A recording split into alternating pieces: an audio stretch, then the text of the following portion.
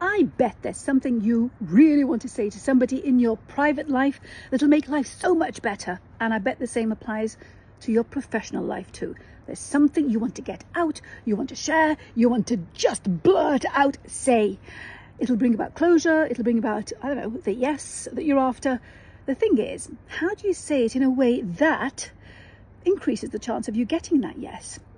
Well, first of all, you have to figure out what that specific thing is, and then the building blocks of how to say it in a way that increases the chance of you getting the result that you're after, which is why I'm inviting you to consider joining the Communicate Academy. It is for free. It is a place where I hold Ask Me Anything sessions every week. And yeah, I want you to join so that you can live your best life and get those things out of you and just just do it. Okay? The link is somewhere around this video and in my profile